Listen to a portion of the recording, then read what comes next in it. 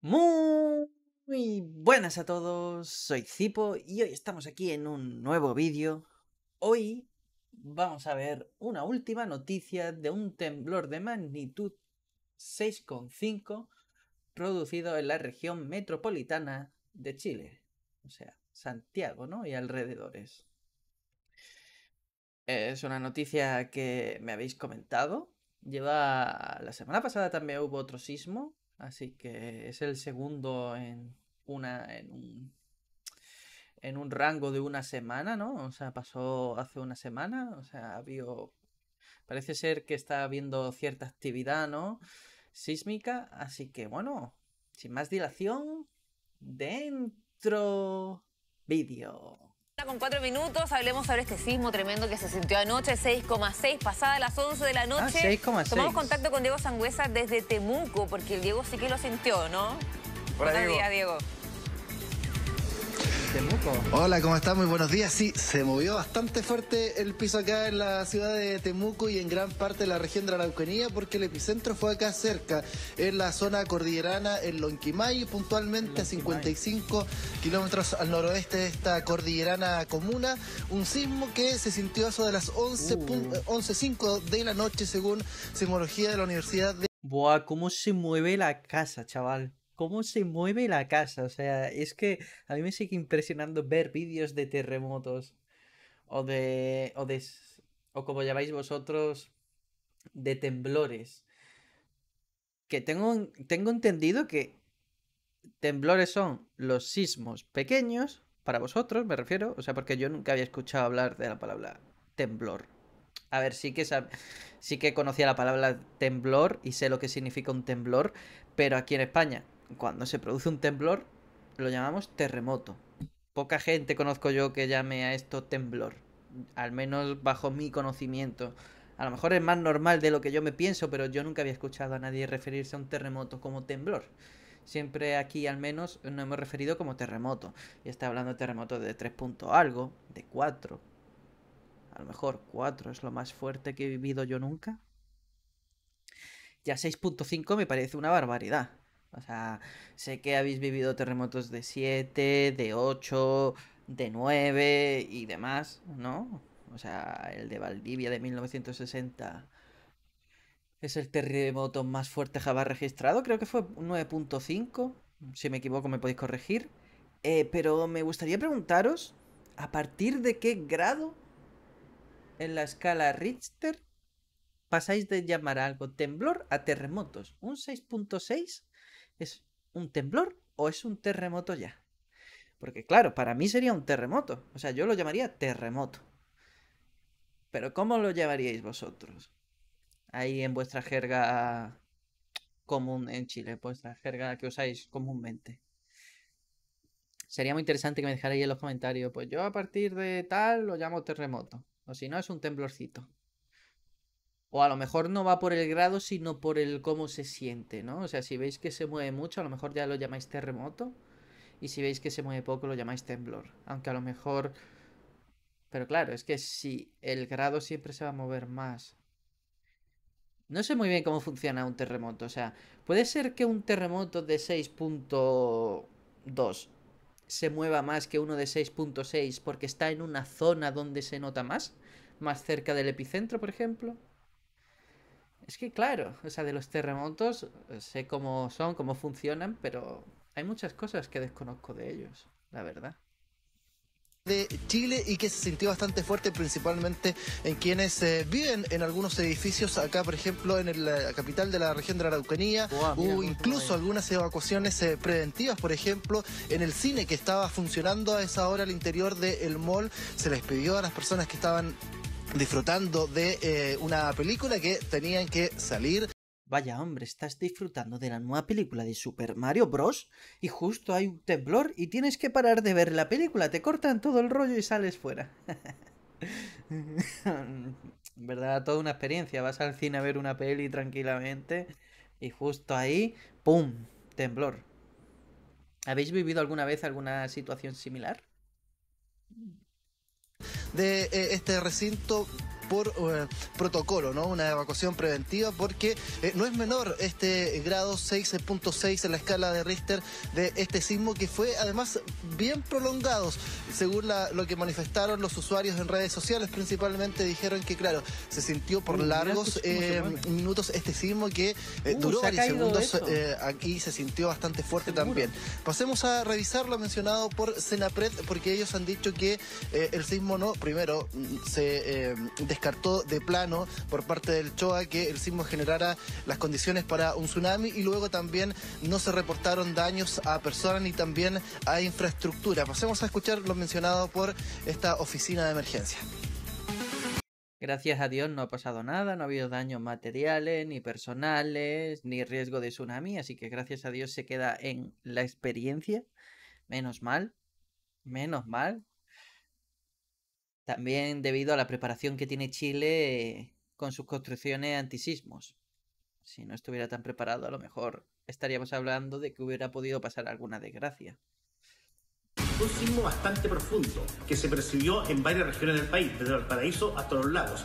Al minuto no se reporta afectación ni a las personas ni a las viviendas. Hubo algunos minutos alguna congestión a las líneas telefónicas, pero no hubo cortes, mantuvieron en todo momento eh, funcionando. Es importante destacar la recomendación a las personas. Cada vez que ocurra este tipo de evento, considerando que estamos en un país muy sísmico, mantener la calma, eh, tener eh, el resguardo, el kit de emergencia y en caso de que sea necesario iniciar un proceso de evacuación, hacerlo de la forma más rápida posible. Había mucha preocupación por eh, las personas que estaban principalmente cerca del epicentro de este sismo en eh, Lonquimay, un sismo que también se sintió en Argentina, porque las autoridades de ese eh, lugar también reportaron que se sintió bastante fuerte en el país vecino. Pero en Lonquimay, el alcalde durante la noche del día de ayer emitió un comunicado diciendo que no hubo tampoco reportes en su comuna de daños a personas ni de infraestructura. Se sintió obviamente bastante fuerte producto de eh, eh, lo prolongado también que fue eh, este sismo, como yo les comentaba. Había preocupación en un principio por el volcán que se encuentra allí en Lonquimay. De plano, el OVDAS, que es el Observatorio Volcanológico de los Andes del Sur, que pertenece a Cernagiumín, descartó que haya una variación importante del volcán. Se monitoreó, obviamente, con especial cuidado durante el transcurso de la noche y no presentó mayores variaciones producto de este fuerte sismo de 6.6, reiteramos, en la escala de Richter. Claro, porque un terremoto. Aquí tengo otra duda, ¿vale? Yo estas cosas las hago porque tengo. para mis dudas. Eh, tengo una duda. ¿Un terremoto puede provocar una erupción volcánica o una erupción volcánica puede provocar un terremoto? Me explico. O sea, si se produce un terremoto cerca de un volcán, ¿hay riesgo de que haga, haya una, una erupción? ¿O es cuando hay una erupción la erupción, la misma erupción volcánica produce que haya un terremoto? Es que claro, eso es una duda. Claro, son, son cuestiones que nunca me he preguntado, ¿vale? O sea, al final nunca me he visto en situaciones de pensar en, terremotos y tal. Nunca he dicho. Nunca se me ha planteado esta situación en la que yo me pudiera preguntar. O sea, cuando hay una erupción volcánica, sí se producen ciertos movimientos, ¿no? O sea, cuando un volcán erupciona, la Tierra se mueve. Porque claro, está saliendo de debajo de la Tierra por el volcán, está saliendo lava, que es tierra, o sea, al final es es pues magma muy caliente, ¿no? Que va a salir, va a... eso produce ciertos temblores. Pero un terremoto puede provocar que un volcán erupcione, o sea, el volcán a lo mejor no iba a erupcionar. Pero como ha habido un terremoto, ¡pum! Erupciona y sale toda la lava para arriba. ¿Eso puede ser posible? Hmm. Es que a mí el tema de los terremotos me... La verdad es que todas este tipo de... de, de cosas, de, de, la fuerza de la naturaleza y tal, ya sea los maremotos, los terremotos, los... Lo diré, los los tornados, lo... todo este tipo de catástrofes naturales, la verdad es que llama mucho mi atención el cómo funciona, el por qué se producen, todas estas cosas me, interesan bastante, así que por eso hago tantas preguntas y soy tan pesado, perdonad. Bueno, ¿qué es lo que dicen los expertos? Que eh, no hay em, algunas indicaciones de que por lo prolongado del sismo, eh, vaya a ocurrir que haya, por ejemplo, otro temblor mucho más eh, fuerte en un futuro, según lo que dijeron los expertos. Pasemos a revisar parte de lo mencionado por ellos el día de ayer, quienes también se, eh, estuvieron monitoreando este sismo bastante de cerca, producto de la atención ¿no? que llamó, producto de lo bastante prolongado y también lo fuerte que se sintió en varias regiones de nuestro país, desde Valparaíso a los lagos. Pasemos a escuchar lo mencionado por los expertos. Como el sismo es bastante profundo, a más de 200 kilómetros de profundidad, eh, las ondas que manda llegan a todos los lugares y viajan para todos lados. Entonces, eso hace de que muchos lugares que están bien lejanos entre sí lo puedan sentir más o menos igual porque la fuente viene de un lado muy lejano. Esto no es nada que la Tierra no nos esté dando antes y no es un indicador de nada, solamente es un sismo bastante eh, profundo en definitiva, es decir, no te dice que se vaya a venir nada distinto. Sí, Diego, eh, una de las cosas que llamó mucho la atención fue eh, lo amplio de la zona en que se percibió con bastante fuerza. Aquí tenemos la escala de intensidades, eh, que es un buen ejemplo de lo que pasó. un sismo con eh, un epicentro en Lonquimay, al interior, al este, ¿no? Arriba de la cordillera. En Maule, 7 grados. Esto es Mercalia. Esta es la sensación, cómo la gente lo percibió. 7, 6 en Concepción, Biobío.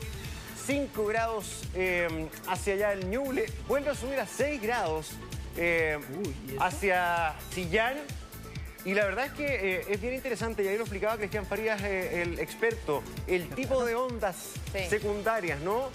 un sismo muy profundo y eso hizo que se percibiera tan lejos. En Argentina, cruzando la cordillera también se sintió muy fuerte. ¿ah? Nos llegaban reportes de anoche de la región metropolitana, región de Valparaíso también. Eh, fue muy largo, el Diego también nos comentaba ayer, fue bastante largo y tú nos decías que se había sentido como una réplica, pero al final lo que nos explicaba Cristian Farías es que había sido uno, pero con distintas como intensidades, como lo decías tú, Gonzalo. ¿Cómo lo sentiste tú, Diego?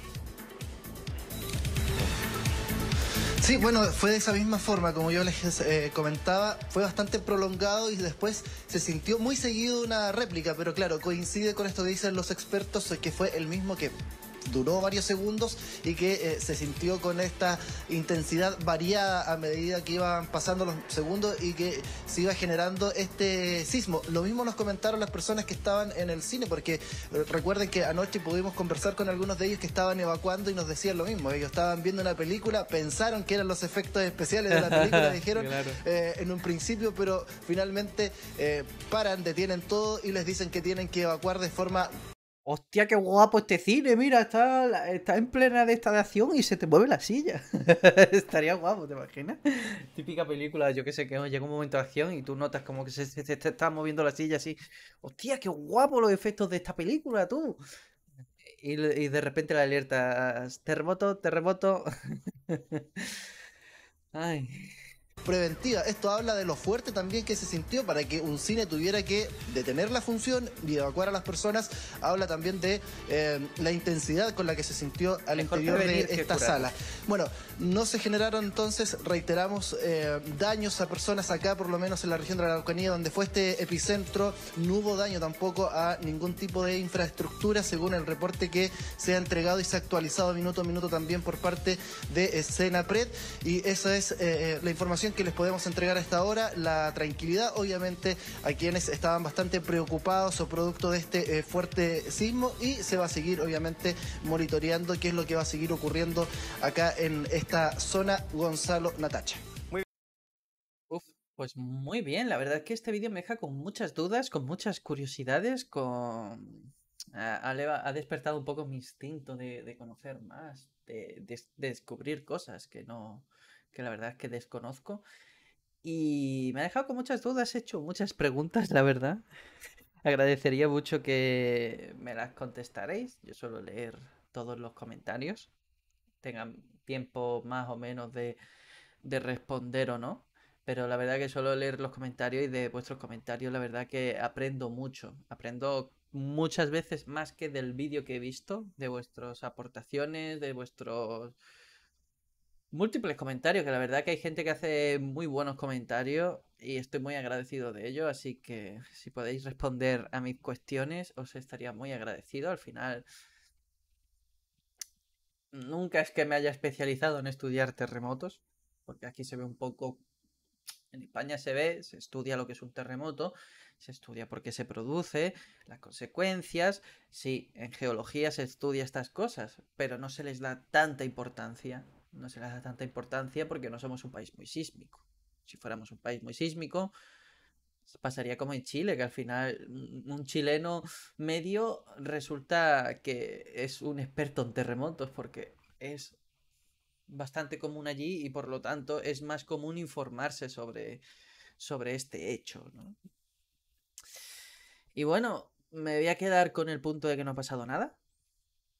De que no ha habido ni daños estructurales, ni daños personales, nada. Vamos a quedarnos con eso, una experiencia, ha habido un, sismo.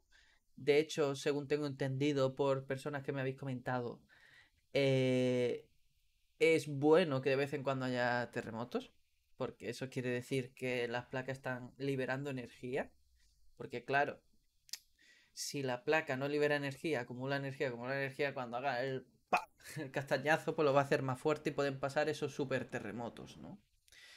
Así que mientras no pase nada, si es el terremoto liberando energía, pues bien, si es solo las placas ahí. Mejor que haya muchos terremotos pequeños que haya un gran terremoto, ¿no? De hecho, muchos chilenos me han comentado que cuando ellos se preocupan es cuando no hay terremotos. Porque es como, uh, esto está cogiendo energía, el próximo terremoto que haya, cuidado.